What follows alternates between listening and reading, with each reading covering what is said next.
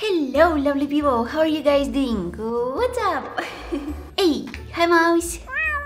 Hey, cooking is so much fun, but you know what's even more fun?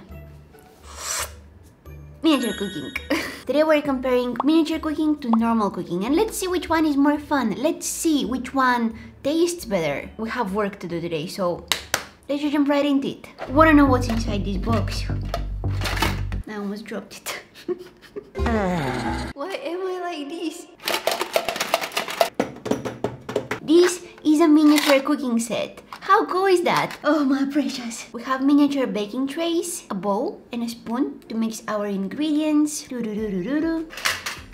A ro-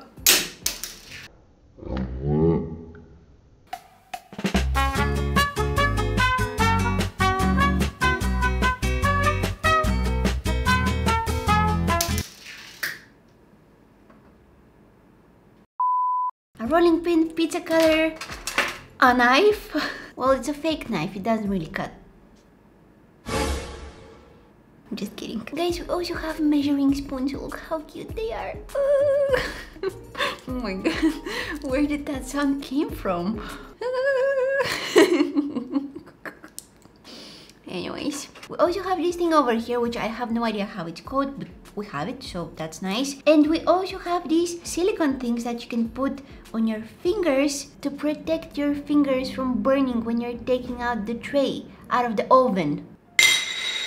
Tray drop. They thought of everything. Today, my friends, today we're making pizza. You like that? Oh, did you see that? this is exactly what happens when I unzip my skinny jeans after a long day. Come on, don't give me hard time. Good.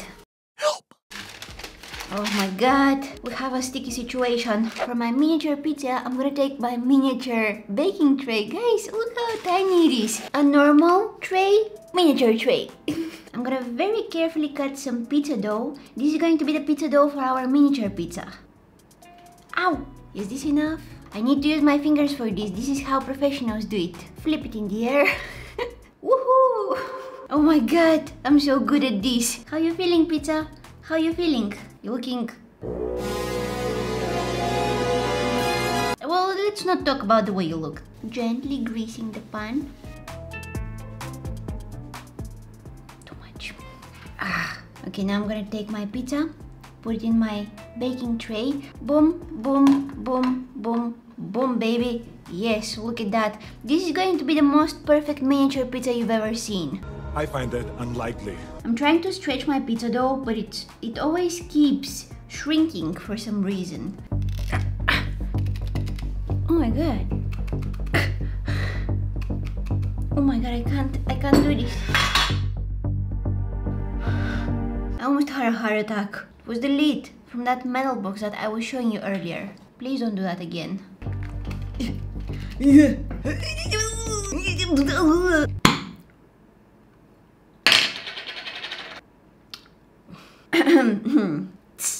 Working out is really showing results. I'm kidding, I don't work out. Well, imagine if I did. oh, this is so adorable. I can't, I can't, I can't. This is the tiniest pizza I've ever made. I'm so proud of this.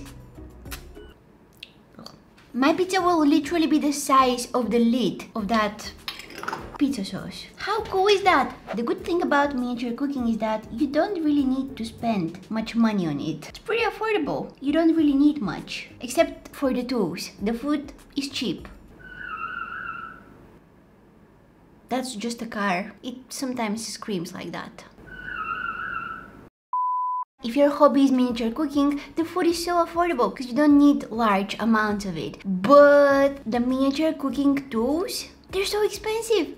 Why? I have this odd feeling that I might have used a little too much cheese. But then I think about it and I'm like, there is no such a thing as too much cheese. Anyways,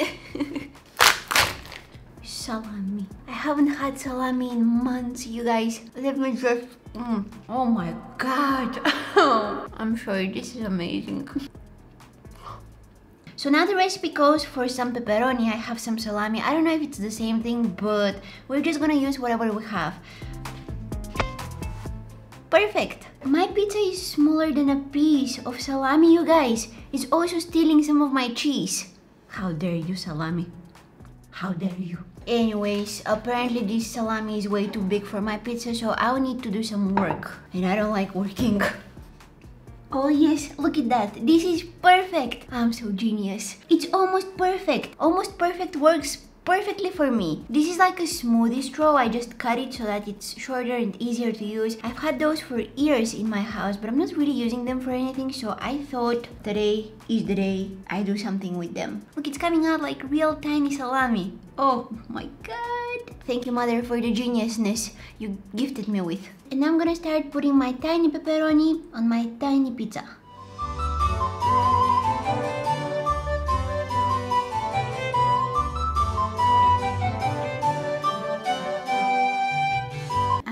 Add some oregano on top just for some extra flavor. And now this bad boy over here is going straight in the oven. Let's hope I won't burn it. I have a history of burning food.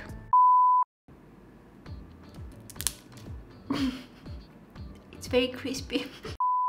it's a long list of foods that didn't make it, but you're not one of them. I hope.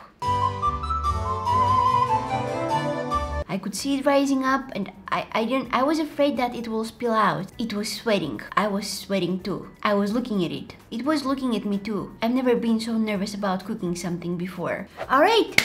Pizza is in the oven. I mean miniature pizza is in the oven. Full-sized pizza is still in the process. We still have the dough. It already started having a crust. So I don't know if that's a good thing, but that's okay. That's fine. Pizza is good even when it's bad. So while my miniature pizza is cooking, I'm gonna cook my full-sized pizza. At least now I'm a little more familiar with the proportions, or that's what I like to think. Greasing the pan, greasing the pan, making it look like my face. Find the difference. That's right, you can't. I never used this, but the recipe also calls for some cornstarch, corn flour. I don't remember how this is called corn flour. Oh my god, look at that. oh, the crust is brutal. Oh no, I think I left it outside for way too long. Do you think that this will ruin my pizza? I mean, as I already said, pizza is good even when it's bad. A little crust won't ruin my confidence. Come on, stretch. Ah, my pizza dough is not really flexible. It doesn't want to stretch. Me and my pizza, we're on the same level when it comes to flexibility. Minus 500. That's where we stand.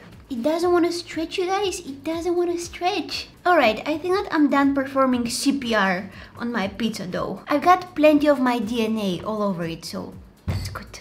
Ah, hit my elbow. Alright, pizza dough crust looks great. this sauce smells absolutely phenomenal, you guys.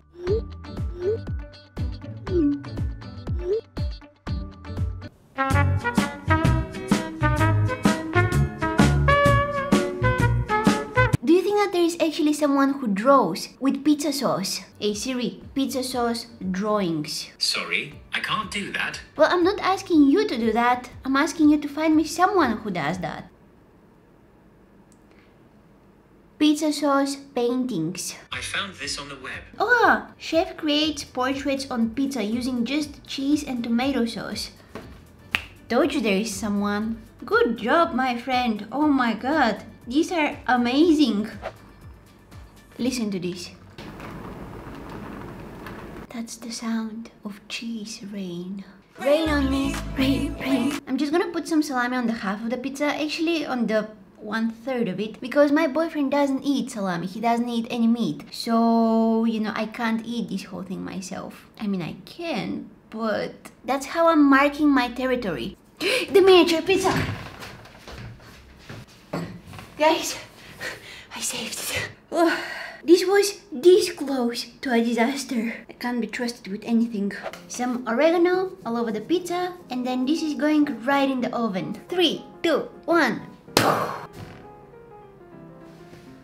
Guys, I did it! Yay!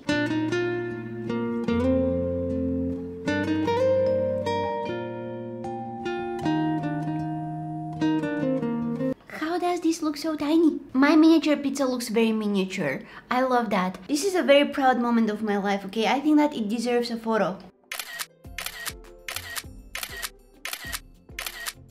There will be some people being like, Danny, Pizza is supposed to be a circle, not a rectangle. I know, I know, give me a break. I don't have a round baking tray.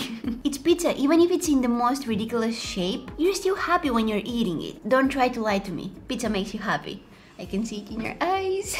Anyways, you guys, moment of truth. Moment of truth. My miniature pizza is literally the size of the pepperoni. It shrinked a little with the baking, so now they're pretty much the same size. That's not pepperoni, that's salami. I still don't know if it's the same thing. I was expecting it to look a little better, you guys. It probably looks better in the thumbnail. Probably. Most likely it does. It doesn't look as polished as the pizza you order online. My boyfriend didn't have any breakfast and it's like 3 p.m. right now, so he's waiting for me to bring him the pizza. So I think it's time for the taste test. 3 p.m. and he didn't have any breakfast? Like, what? Who am I living with? I'm not gonna lie to you guys, I feel like this was the best pizza I've ever had and I, I don't know why. It's the sauce. You guys, the sauce makes all the difference. Time for my little masterpiece over here. Oh, as I said, it's not as polished as the the one you order, but this looks like mom's homemade pizza. It's super, super adorable. Oops. Come on, little knife. Come on, you can do this. It's just pizza. Cut through it. Oh, I totally forgot. I have a pizza cutter. I think my pizza might be a little too thick for this pizza cutter. The pizza cutter is kind of getting lost in there. Come on, pizza cutter. Cut. Oh, it actually cut it. Ta-da! Oh, wow. Oh, how this... Mm, this is the cutest piece of pizza I've ever seen. Oh my god! I want to squeeze it with my teeth. Alright, let's see. Hmm. Well, I feel I'm gonna need one more piece to really decide how I feel about this.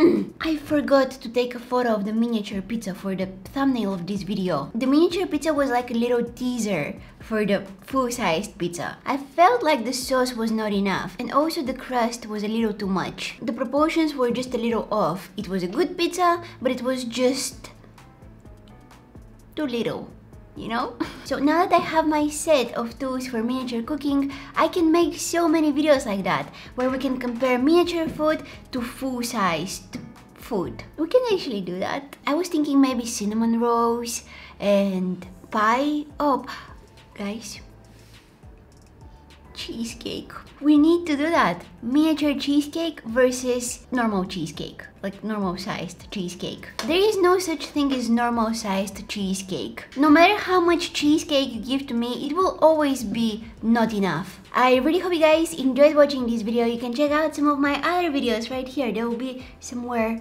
next to me. So go ahead, click on one of them. You can find me on Instagram, Facebook. I also have a second channel. You can go and take a look. And thank you guys so, so, so, so, so much for watching. Hopefully, I'll see you in my next one. Bye!